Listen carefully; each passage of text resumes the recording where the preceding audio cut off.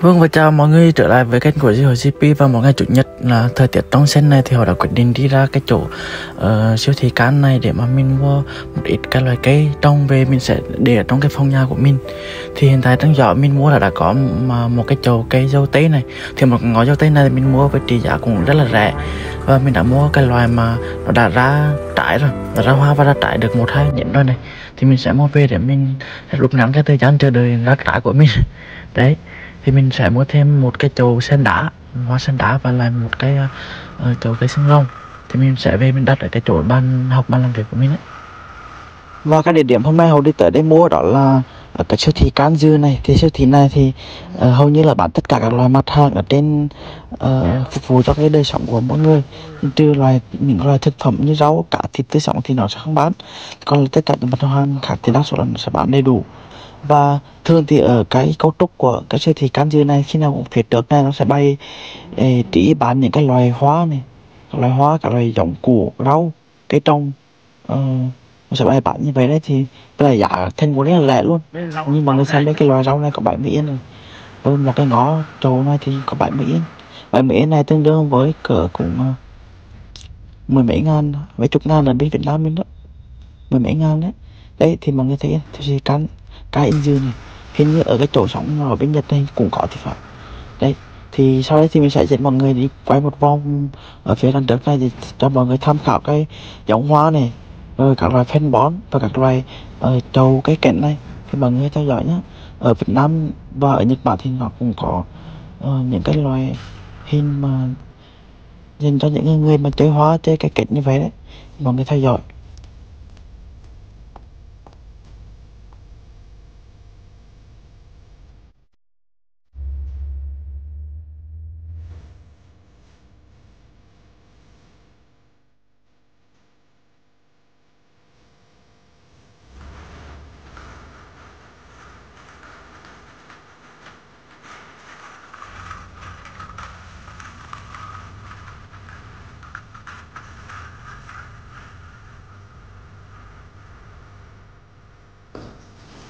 Và đây trên tay mình đang cầm đây là một bịch à, các loại cây hồi nãy mình mua này. Và bên này là mình đã mua được một cái bộ máy đo huyết áp đo nhịp tim. Nên sắp tới mình có thời gian bên nữa thì mình sẽ tặng cho bà nội mình.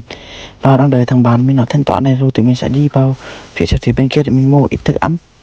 Đấy thì sẵn tiền đang đợi nó thì mình sẽ quay một vòng ở xung quanh để ăn trở đây cho mọi người xem. Ở can dư này siêu thị của Nhật Bản thì nó sẽ bố trí những cái gì nhé thì nó sẽ có từng gian một bên này là phân bón này bên này sẽ là hoa bên kia là sẽ cây cảnh và bên kia sẽ là những cái chậu sen đá chẳng hạn. Bên này thì sẽ là chậu cây trong trái cây đây thì mình sẽ đi thẳng phía đằng kia này cho mọi người xem. Bên này là phân bón này. Phân bón có, vẫn có rất nhiều loại phân bón. Phân bón đất trong này còn bên này là loài chậu cây cảnh hình dạng kích cỡ và chất liệu nó cũng khác nhau. Mọi người có thể thoải mái lựa chọn. Giá cũng không đến nỗi bắt đâu. Đấy thì mình sẽ đi về cho mọi người xem nhé thì thì mọi người có thể biết ở Nhật Bản người ta cũng uh, rất là chú trọng với cái mặt trang trí mặt hình thức. Đây đây là gạch giả này làm một rất là đẹp.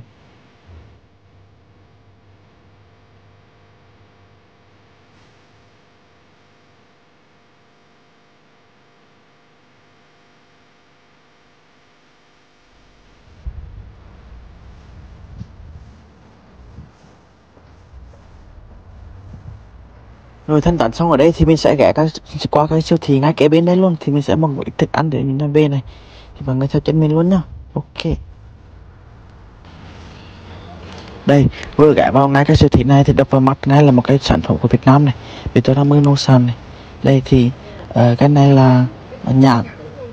Thì nhãn này mình lúc mua thì mình không biết là ngọt hay là nhạt hay vị thế nào nhưng mà lúc đi về nhà mình ăn khá là ngon ngọt và mát thơm nhưng mà này nghe bảo ăn nhiều nó sẽ bị nóng người nên mình mua một cây vị này thôi.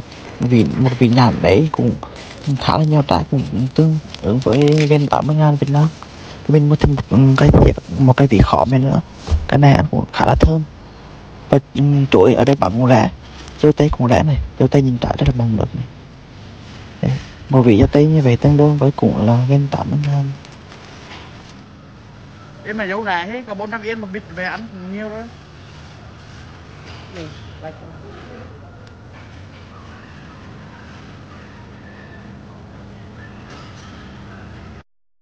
rồi qua đây là phát hiện ra một cái loại sản phẩm, một loại trái cây mình rất thích nữa. Thì trên tay mình đây là một cái bịch à, có có năm trái bơ này.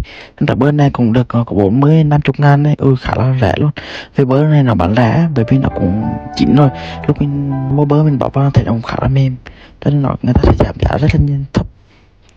Bên này thì có tôm cua cả cũng rất là nhiều này. Thì cũng giá thân cũng không có đến nổi mắc mà, là mình cũng ít khi ăn hải sản lắm cho nên mình cũng không mua. Qua xem thôi.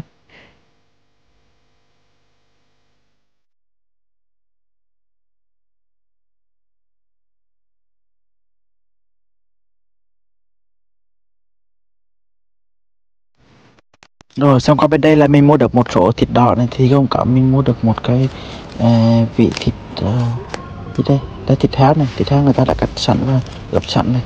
Với là một cái vị uh, mega một cái vị ức ga. Ức ga mình mua để chủ yếu mình ăn để được thêm protein và một cái vị sơn non. Đây thì nhiều đây làm với lại là thì mình sẽ về cái siêu thị căn nhà.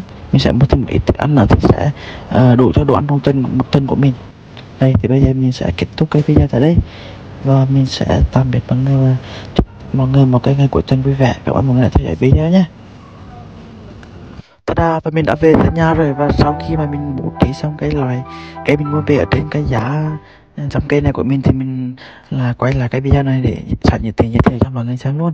Thì cái cây này mình mua về mình trồng xong và nó uh, có dùng một số cái nhánh cây này này thì mình lại ươm vào cái hộp đất này để hy vọng nó sẽ ra rễ và nó sẽ nhân giống thành được một hai cái cây gì đó nữa có thành công không?